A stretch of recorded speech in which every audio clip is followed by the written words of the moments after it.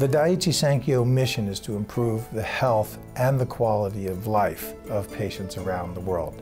Today, Daiichi Sankyo is committed to being an industry leader in both cardiovascular disease and oncology. And one of the things that differentiates us from some is our strong commitment to personalized medicine, the ability to get the right drugs to the right patients at the right time.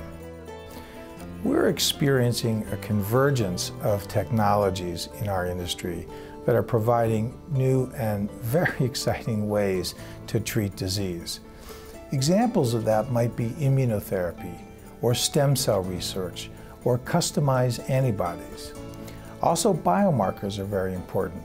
We are developing ways that we believe will allow us to target therapies to individual patients that will allow us to improve the efficacy those patients experience and minimize the side effects. We've established a number of external alliances to help us with that research effort, and those include ArQule in Boston to help us develop an important drug for lung cancer, as well as other alliances.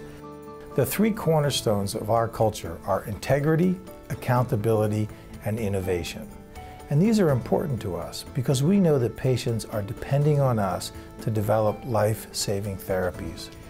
We have about 30,000 employees working around the globe looking for innovative ideas, trying to identify new candidate drugs, new ways to develop them, new ways to shorten timelines, improve manufacturing, and distribute those medicines to the patients who need them.